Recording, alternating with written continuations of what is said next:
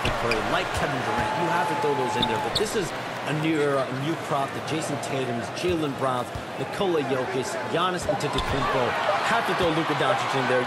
You have Donovan Mitchell, you have Paolo Banchero, you have Tyrese Halliburton, you have Joel Embiid, you have Tyrese Maxey, Jimmy Butler, you have Shai Gilgeous-Alexander, Anthony Edwards, Paul George, Kawhi Leonard, Devin Booker, Zion Williamson, Anthony Davis, De'Aaron Fox, Victor Wembanyama,